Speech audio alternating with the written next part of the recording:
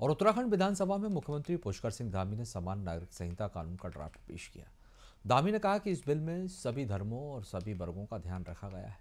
UCC पर draft लाने वाला उत्तराखंड देश का पहला राज्य है। बिल पेश करने से पहले मुख्यमंत्री धामी ने कहा कि जिस वक्त का लंबे समय से इंतज़ार था, वो पल आ गया। न केवल प्रदेश की सवा करोड़ जनता, बल्कि पूरे देश की निगाहें उत्तराखंड की ओर बनी हुई हैं।